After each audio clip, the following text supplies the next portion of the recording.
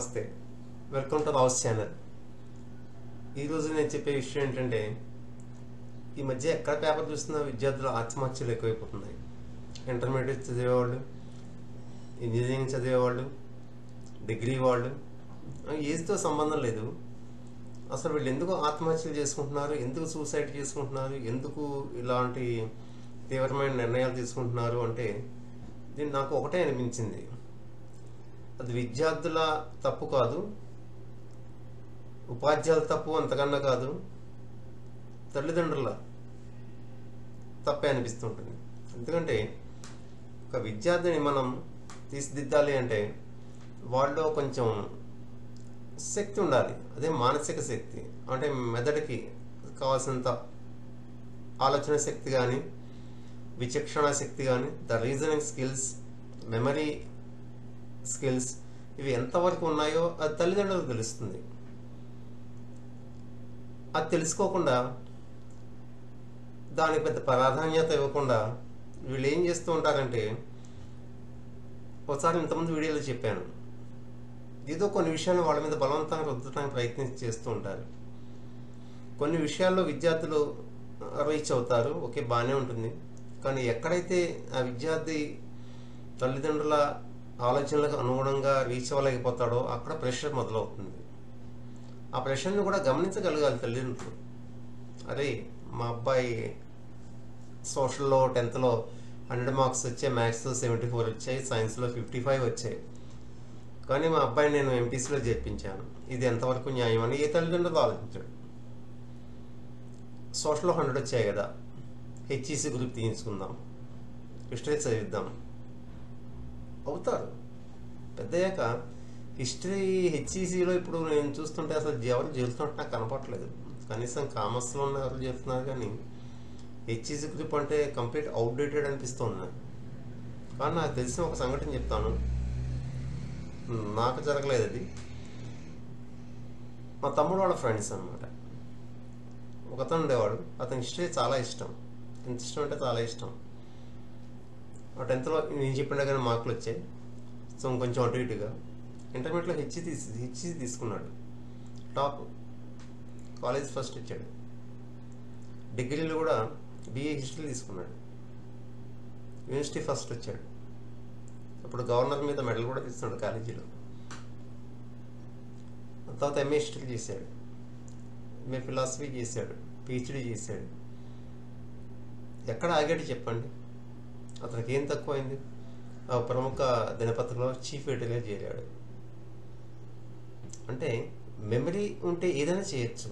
వీడు తెలివితేటలు ఉన్నాయి కదా ఇంజనీరింగ్ చేద్దాం డాక్టర్ చేద్దాం ఇంకేం చేద్దాం కదా ఇది కూడా చేయొచ్చు. అతను ఇప్పుడు ఎక్కడో ఉన్నాడు. ఆ పేరు వివరాలు మనకు అవసరం చెప్తున్నా అసలు. ఇటువంటి గమనిస్తుంటే ఏదో వేస్ట్ సబ్జెక్ట్ అనుకుంటాం కానీ దాంట్లోనే మనం అద్భుతాలు చేయొచ్చు.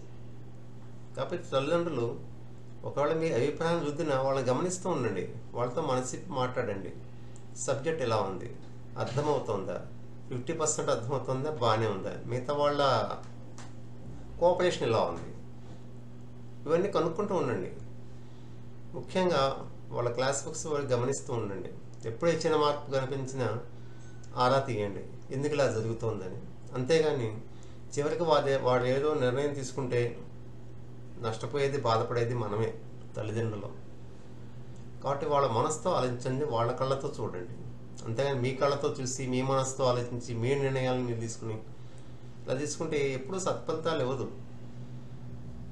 దాని తర్వాత దాంతో వాళ్ళు ఏదో సాధించిన వాళ్ళ జీవితంలో ఏదో అసంతృప్తి మిగిలే ఉంటుంది. అరే నేను ఇది చేయాలనుకున్నాను ఇది చేయలేదు మా నాన్న చేయమన్నాడు. జీవితంలో తృప్తినిచ్చేది ఒక డబ్బే కాదండి. చాలా ఉంటాయి. సపోజ్ నేను ఉన్నాను. నేను చేసే పని మీద రోజు పొద్దునే పెడతాను బాక్స్ పెట్టుకుని. సాయంత్రం వస్తాను. మళ్ళీ సాయంత్రం ఎక్కడికి పెడతాను రాత్రి వస్తాను. ఇదంతా నాకు ఇష్టమే కాదు కదా. ఇది జీవితం. కానీ నేను అనేది ఒకటి ఉంటుంది. అది ఎప్పటికీ నాలో నిద్రలేస్తూనే ఉంటుంది. అయితే మీకు కూడా ఉంటుంది ఆ విషయం. అందరికీ తెలుసు? కానీ దాన్ని మనం చంపేస్తూ ఉంటాం. చంపేస్తూ ఉంటాం. జీవితం కదా బతకాలి కదా. బతకడానికి తిండి కావాలి కదా దానికోసం ఇవి చేయాలి కదా. చేయండి తప్పులేదు. కానీ నీలో ఉన్న ఆతృతని ఆసక్తిని ఎప్పుడు మరుగునపరచకండి దాన్ని పైకి తీయండి. అలాగే విద్యార్థుల్లో కూడా ఉంటుంది. చెప్పండి నాన్న విషయంగా చెప్పాలి వాళ్ళకి. చెప్పకుండా ఏదో ఇది చదవరా అని బలం చెప్తే వాళ్ళకి కోపం వస్తుంది ఏదో నిర్ణయం తీసుకుంటారు. కాబట్టి చెప్పాలి మనకి. జీవితం వేరు ఆసక్తి వేరు. మన జీవితానికి ఇది బాగుంటుందిరా. చాలా బాగుంటుంది. నువ్వు ఇది చదువుకుంటే మంచిగా సెటిల్ అవుతావు. సెటిల్ అయితే నీ ఆసక్తులు అన్నీ తీర్చుకోవచ్చు అని చెప్పాలి. అలాగే మీరు చేస్తూ కనబడాలి కూడా. ఏదో వాడికి చెప్పేసేసి మనం చేయకుండా కూర్చుంటే వాడు నమ్ముతాడు? మీరు చిన్ననాటి నుంచి చేయని సంఘటన ఏదో మీరు చేస్తూ చూడండి ఎప్పుడు ఎంత హ్యాపీగా చేసుకుంటున్నాను నా చిన్ననాటి పనులు నా అంబిషన్స్ అని అలాగే నువ్వు చేసేయగలుగుతావు. కాబట్టి ముందు సెటిల్మెంట్ ఒకటి చూసుకుందాం నాన్న అని వాడితో ప్రేమపూర్వకంగా మాట్లాడితే తప్పక వింటారు. కాబట్టి తల్లిదండ్రులు ఇది గమనించి ఆ సబ్జెక్ట్ మనం ఎందుకు వాళ్ళకి చూస్ చేస్తున్నామో దాని ఇంపార్టెన్స్ అంటే ఏమిటో జీవితం వేరు ఆసక్తి వేరని క్లియర్గా వాళ్ళతో మాట్లాడాలి. అంతేగాని ఏదో మన వైపు నుంచి మాట్లాడుతూ ఉంటే వాళ్ళ వైపు నుంచి మాట వినను ఇది చదవాల్సింది. మనం కూడా అలా అంటే చిన్నపిల్లల పాపం. వాళ్ళు ఎవరితో చెప్పుకుంటారు చెప్పండి? అమ్మకి చెప్పినా అర్థం కాదు. నాన్న వినడు. తోబుట్టులా ఉండరు ఎందుకంటే మైక్రో ఫ్యామిలీస్ అయిపోయాయి కదా. ఒక అన్న ఉండడు ఒక తమ్ముడు అక్క ఉండడు చెల్లి ఉండడు చెప్పుకోవడానికి షేర్ చేసుకోవడానికి. ఫ్రెండ్స్తో ఎన్ని చెప్పుకుంటారు? ప్రతిదీ చెప్పుకోరు కదా. చివరిగా తీసుకునే నిర్ణయం మాత్రం మీకు చెప్తారు. అప్పుడు మీరు వారికి అందంత దూరంలో ఉంటారు. మీరు వెళ్ళేప్పటికి అంతా అయిపోయి ఉంటుంది. కాబట్టి చిన్న విషయాలే మనకెంతో ఎంతో బాధని మిగులుస్తాయి. జీవితాంతం మనం ఒంటరిని చేస్తాయి. కాబట్టి తల్లిదండ్రులు వాళ్ళతో చక్కగా మాట్లాడండి. మంచి నిర్ణయాలు తీసుకోండి. మీ కొడుకు మీరే ఒక ఆదర్శముద్రలో నిలవాలి. ఇలా చేస్తే మన బిడ్డలప్పుడు అంతా ఉంటారు మనల్ని గౌరవిస్తారు. మన కళ్ళలో నిజం చేస్తారు కూడా. అరే నేను చదవకలేకపోయానంటే వాడు చదువుతాడు. నాన్న నీకోసం చదివాను ఇది. నేను ఇది కూడా చేస్తాను అంటే చేయరా బాబు అంటాం.